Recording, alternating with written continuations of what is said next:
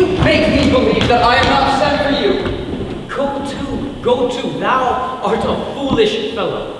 Let me be clear of thee. Well held out with thee. No, I do not know you, nor I am not sent to you by my lady to bid you come speak with her, nor your name is not Master Cesario, nor this is not my nose Nothing that is so is so. I prithee, vent thy folly somewhere else. Thou knowest not me. Vent thy folly. I prithee now, ungird thy strangeness, and tell me what I shall vent to my lady.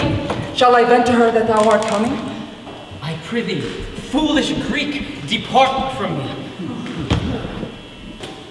There's money for thee.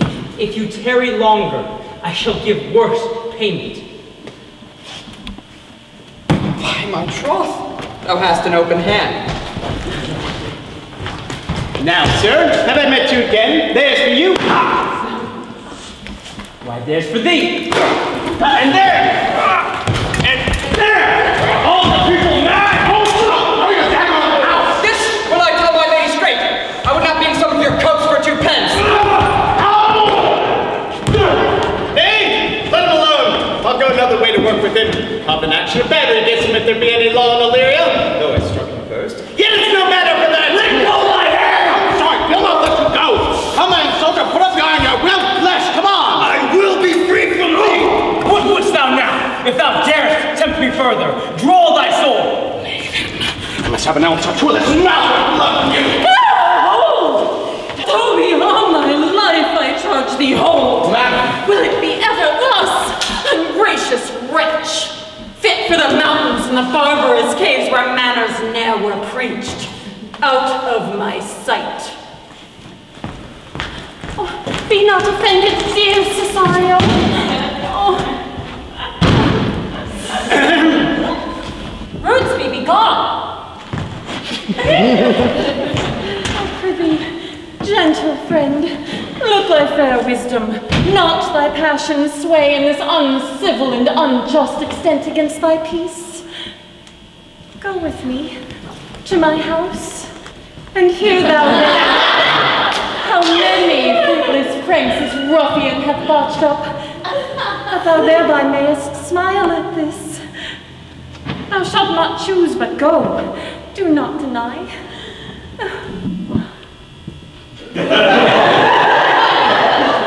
What relish is in this? How runs the stream? Or I am mad, or else this is a dream. Let fancy still my sense in leading steep.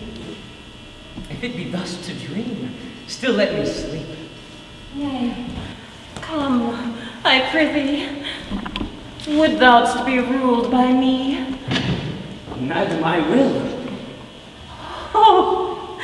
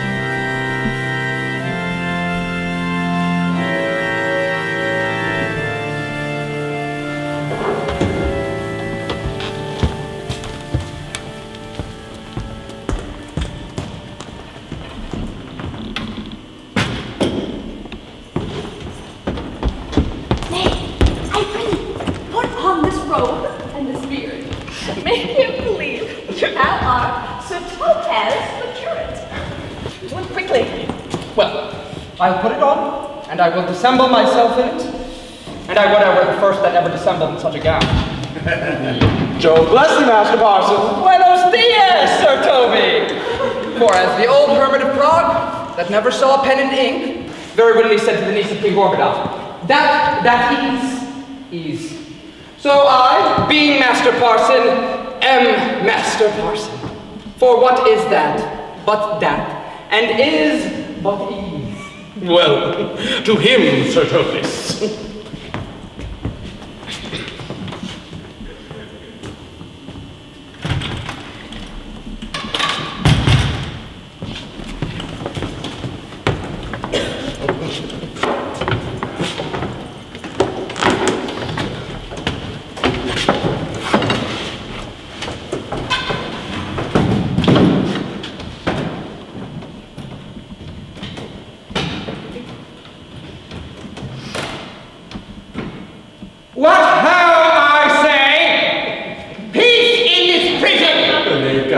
well, good day. Who calls there? Sir Topas the curate, who comes to visit Malvolio the lunatic. Sir Topas, Sir Topas, good Sir Topas, go to my lady. Out, hyperbolical fiend! How vexest thou this man? Talkest thou nothing but of ladies? Well said, Master Parson. Sir Topas, never was man thus wronged. Good Sir Topas, do not think I am mad. They have laid me here in hideous darkness. Sayest thou that house is dark? As hell, Sir Topas. Why, it hath bay windows transparent as barricadoes, and the clerestories towards the south north are as lustrous as ebony, and yet complainest thou of obstruction! I am not mad, Sir Topas. I say to you, this house is dark. Madman, thou errest! I say there is no darkness but ignorance, in which thou art more puzzled than the Egyptians in their fog. Fare thee well. Remain thou still in darkness. Fare well. Sir Topas, Sir Topas. My most exquisite Sir Topas. Nay, I am for all waters. Thou mightst have done without the beard and gown, he sees thee not. To him in thine own voice, and tell me how thou findest him. I would we were well rid of this knavery. If he can be conveniently delivered, I would he were, for I am now so far in offence with my niece that I cannot pursue with any safety this sport the upshot. Come by and by to my chamber. Hey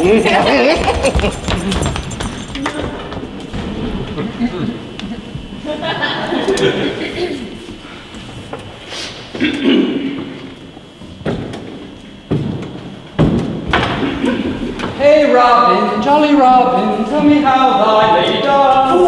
My lady is unkind to. Alas, why is she so? She loves another. Who calls?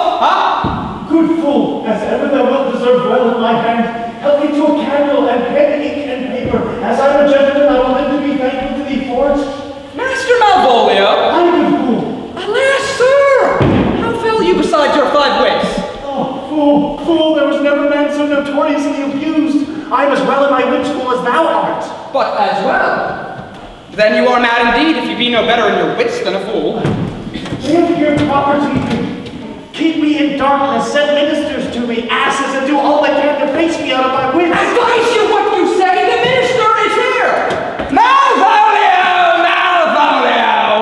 Thy wits the heavens restore! Endeavor thyself to some sleep and leave thy vain bibble babble! Topas. Maintain no words with him, good fellow! Who, I, sir? Not I, sir. God buy you, good Sir Topas. Marry, amen. I will, sir. I will. Fool. Alas, sir, be patient.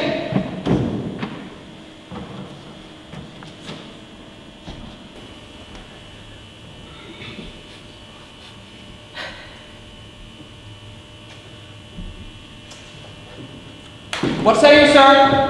I am sent for speaking to you. Good fool, help me to a candle and some paper. I tell thee I am as well in my wits as any man in Illyria, and convey what I will set down to my lady. It shall advantage thee more than ever the bearing of letter did. I will help you to it, but tell me true. Are you not mad indeed, or do you but counterfeit? Believe me, I am not. I tell thee true. Hmm. Nay, I'll never believe a madman till I see his brains. Oh. I will fetch you light and paper and ink. Fool, I will it in the highest degree. I really be gone. I am gone, sir, and anon, sir, I'll be with you again. In a trice like to the old vice, your need to sustain. Who with dagger of laugh, in his rage and his wrath, cries a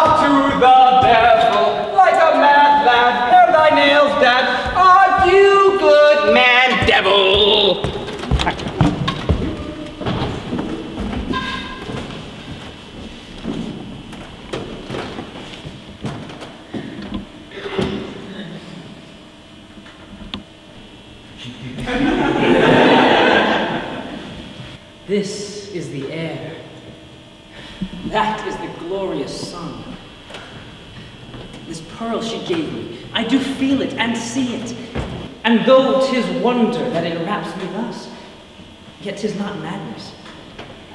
Where's Antonio? I couldn't find him at the elephant yet. There he was.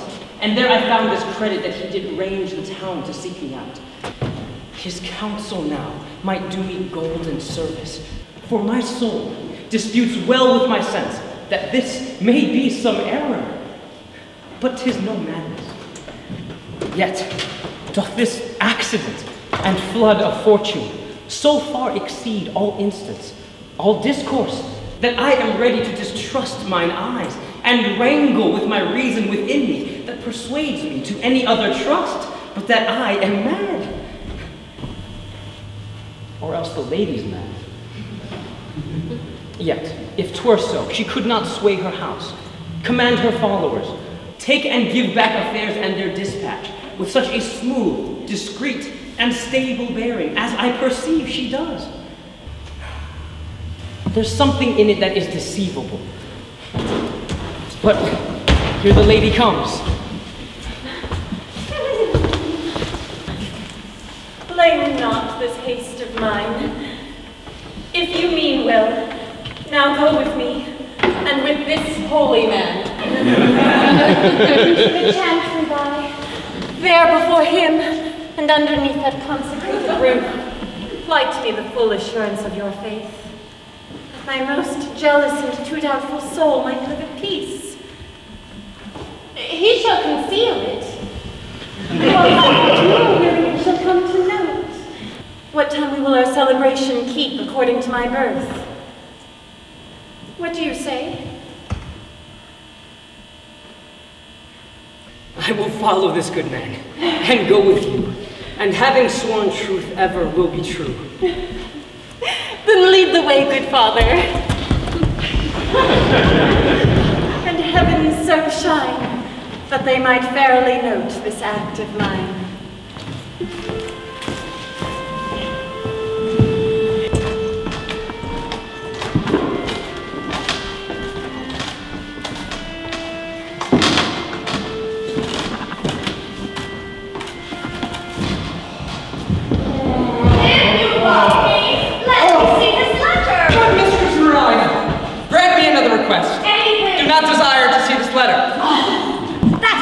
Dog, and for recompense, desire your dog again. Belong you to the Lady Olivia, friends. Aye, sir, We are some of her trappings. I know thee well. How dost thou, my good fellow? Truly, sir, the better for my foes and the worse for my friends. Just the contrary, the better for thy friends. By my troth, sir, no. Though it please you to be one of my friends. Thou shalt not be the worse for me. There's gold. If you will tell your lady I am here to speak with her and bring her along with you, it may awake my bounty for. Marry, sir! Lullaby to your bounty until I come again. I go, sir, as you say, sir. Let your bounty take a nap. I will awake it anon.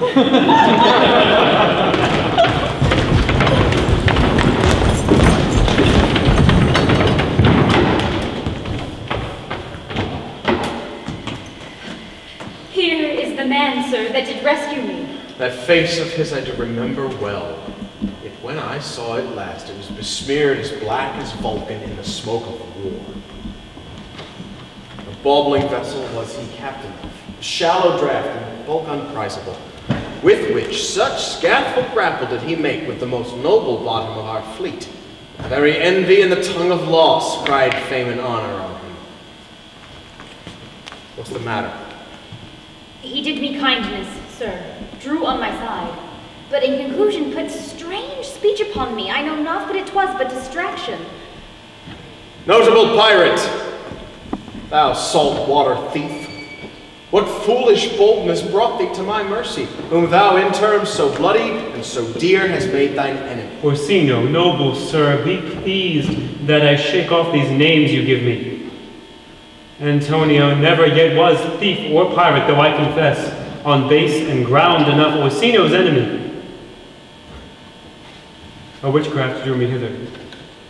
That most ingrateful boy there by your side, from the rude seas, enraged and foaming mouth, did I redeem. A rack past hope he was. His life I gave him and did there to add my love without retention or restraint, all his in dedication. For his sake did I expose myself, pure for his love, into the dangers of this adverse town, drew to defend him when he was beset, where being apprehended in his false cunning, not meaning to partake with me in danger, taught him to face me out of his acquaintance, and grew a twenty years removed thing while one would wink. Denied me my own purse, which I had recommended to his use, not half an hour before. How can this? When came he to this town? Today, my lord, and for three months before, no interim that amidst vacancy, both day and night did we keep company. Here comes the Countess. Now heaven walks on earth.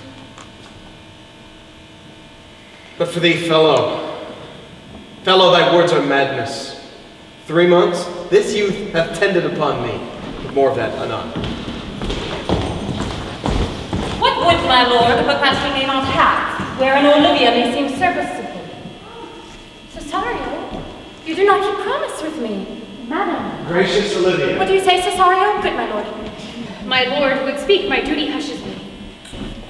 If it be aught to the old tune, my lord, it is as fat and fulsome to mine ear as howling after music. Still so cruel. Still so constant, lord. What, to perverseness? You uncivil lady, to whose ingrate and inauspicious altars my soul the faithless offerings have breathed out that ere devotion tendered. What shall I do? Even would it please, my lord, that shall become him. Why should I not? Had I the heart to do it, like to the Egyptian thief at point of death, kill what I love. A savage jealousy that sometimes savors nobly. Hear me this. Since you two non-regardants cast my faith, and that I partly know the instrument that screws me from my true place in your favor, live you the marble-breasted tyrant still. But this minion, whom I know you love, and whom by heaven I swear I tender dearly, him will I out of that cruel eye where he sits crowned in his master's spite. Come, boy, with me. My thoughts are ripe in mischief. I'll sacrifice a lamb that I do love to spite a raven's heart within a dove. And I, most jocund, apt, and willingly to do you arrest, a thousand deaths would die. Where goes Cesario? After him I love. More than I love these eyes, more than my life, more by all wars than ever I shall love wife. I detested. How am I beguiled? Who does beguile you? Who does do you wrong? Hast thou forgot thyself? Is it so long? Come, away. Whither, my lord? Cesario, husband! Stay. Husband. I, husband. Can he that deny? Her husband. Sir. No, my lord, not I. Alas, it is the baseness of thy fear that makes thee strangle thy propriety. Fear not, Cesario. Take thy fortunes up. Be that thou knowest thou art, and then thou art as great as that thou fearst. Oh, thou dissembling cub. What wilt thou be when time hath sowed a grizzle on thy cage?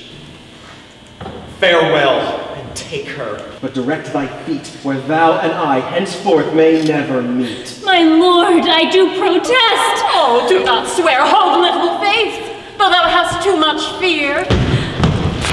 But for the love of God, a surgeon!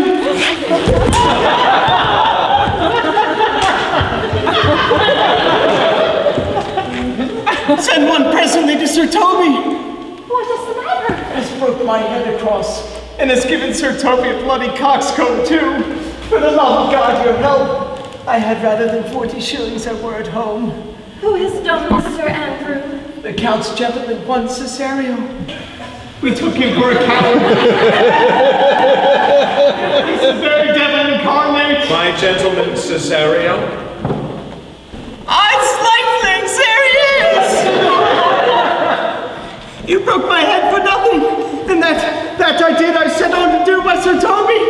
Why do you speak to me? I never hurt you. You drew your sword upon me without cause, but I bespake you fair and hurt you not. If a bloody coxcomb be a hurt, you have hurt me. You said nothing, my bloody coxcomb. Here comes Sir Toby halting. You shall hear more. He had not been in drink, you had tickled you out the gates, and he did. How now, gentlemen? How is it with you? So what? He's hurt me and there's an end of it. Stop, the surgeon. No, he's drunk, Sir Toby. And now we're going to besides the set at 8 in the morning. Then he's a rogue and a passive as a companion. I hate a drunken rogue. Away with him. Who has made this havoc with them? I'll help you, Sir Toby, for we'll be dressed together. Will you? An ass and a coxcomb and a knave, a thin-faced knave of dung! Get him to bed and let his hurt be looked to. I am sorry, madam. I have hurt your kinsman. I must have done no less in wit and safety. You throw a strange regard upon me, and by that I do perceive it hath offended you.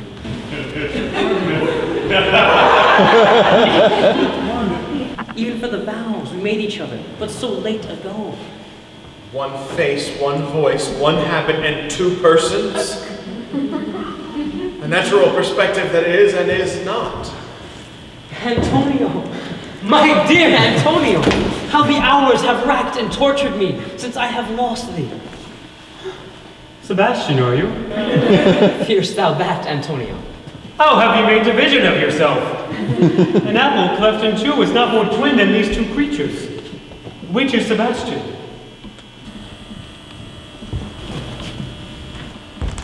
Most wonderful. Why stand there? I never had a brother. I had a sister, whom the blind waves and surges have devoured. Of charity, what kin are you to me? What countryman, what name, what parentage? Of Messaline. Sebastian was my father, such as Sebastian was my brother too. So went he suited to his watery tomb. If spirits can assume both form and suit, you come to fright us. Were you a woman, as the rest goes even, I should my tears that fall upon your cheek, and say thrice welcome, drowned Viola, My father had a mole upon his brow, and so had mine. and died that day when Viola from her birth had numbered thirteen years. That record is lively in my soul. He finished indeed his mortal act, the day that made my sister thirteen years.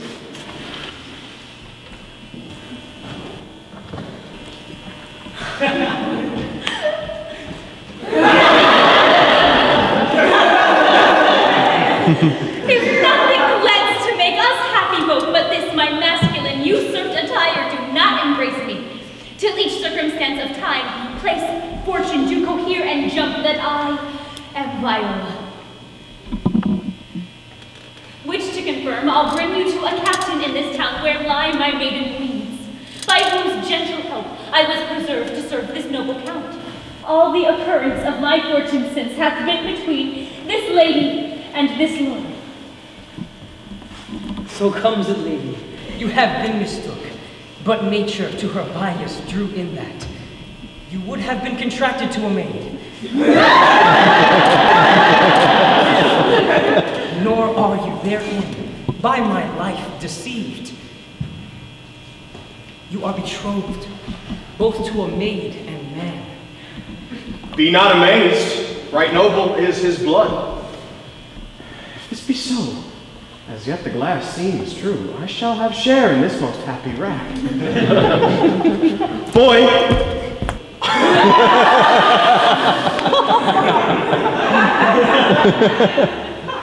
Thou hast said to me a thousand times, thou never shouldst love woman like to me. And all those sayings will I overswear.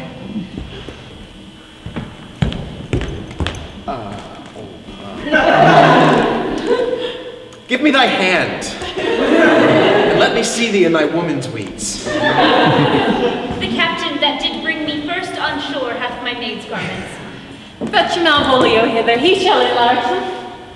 And at last, now I do remember me, they say, poor gentleman, he is much distraught. How does he, sir? Truly, madam, he holds Beelzebub at the stave's end as well as a man in his case may do.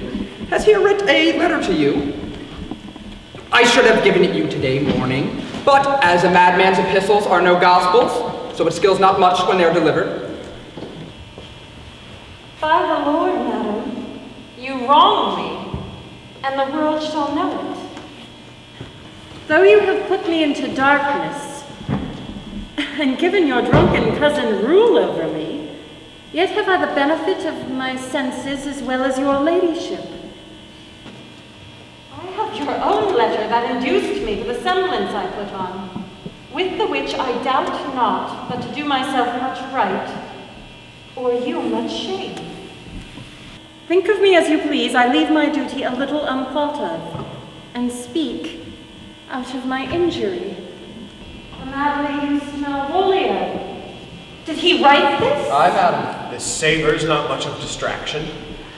See him delivered. Marat, bring him hither. My lord, so please you these things further thought on, to think me as well a sister as a wife.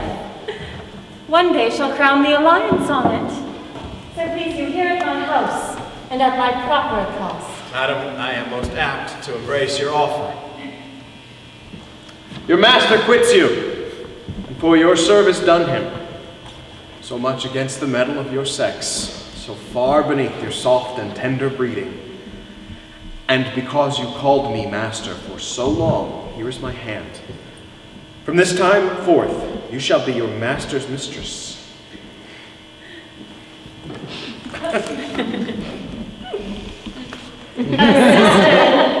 You are she.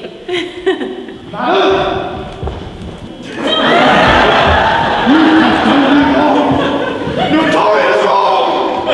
Have I, Malvolio? No. Lady, you have. Pray you peruse that letter. You must not now deny this young man. Write from it if you can, in hand or phrase, or say it is not your seal, not your invention. You can say none of this. Well, granted then. And tell me, in the modesty of honor, why you have given me such clear lights of favor. Bade me come smiling and cross-gartered to you, to put on yellow stockings, and to frown upon Sir Toby in the light and acting this in an obedient hope. Why have you suffered me to be imprisoned, kept in a dark house, visited by the priest, and made the most notorious gack and gull that e'er invention played on? Tell me why. Alas, Malvolio, this is not my writing. Though I confess much like the character, but out of question, 'tis Maria's hand. And now I do bethink me it was she first told me thou wast mad. Then camest in smiling and in such forms as here were presupposed upon thee in the letter. Prithee be content. This practice hath most shrewdly passed upon thee. But when we know the grounds and authors of it, thou shalt be both the plaintiff and the judge of thine own cause. Good madam, hear me speak. Most freely do I confess myself and Sir Toby set this device against Malvolio here, on some stubborn and uncourteous parts we conceived against him. Maria writ the letter at Sir Toby's great importance, in recompense whereof he hath married her. How with a scornful malice it followed might rather pluck on laughter than revenge, that the injuries be justly weighed that have on both sides passed. Alas, poor fool, how have they baffled thee? Why, some are born great. Some achieve greatness, and some have greatness thrown upon them. I was one, sir, in this interlude. One Sir Topaz, sir. But that's all one.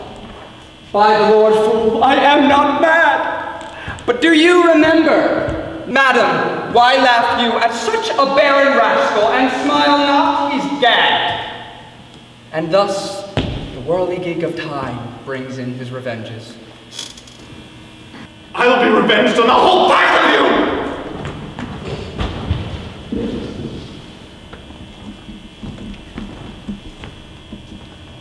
He hath been most notoriously abused. Pursue him and entreat him to a peace. Golden sign convents, Solemn combination shall be made of our dear souls. meantime, Sweet sister, we will not part from hence. Cesario, come. For so you shall be while you are a man.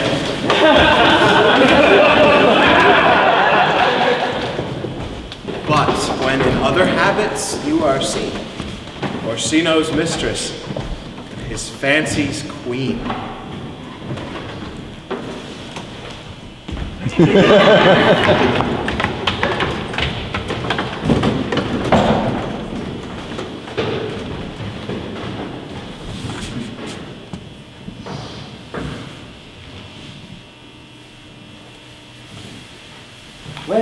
that I was and the little tiny boy with the hay-ho, the wind and the rain, a foolish thing was a toy, for the rain it raineth every day. But when I came to man's estate with the hay-ho, the wind and the rain, against knaves and thieves men shut their gate, for the rain it raineth every day. But when I came, alas too wide, with the hay-ho, wind and the rain, My swaggering could I never thrive, for the rain it raineth every day.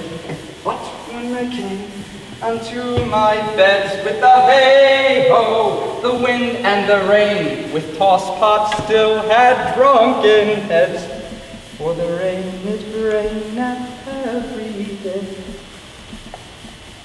A great while ago, the world began with the hey-ho, the wind and the rain. But that's all one, our play is done, and we'll strive to please you every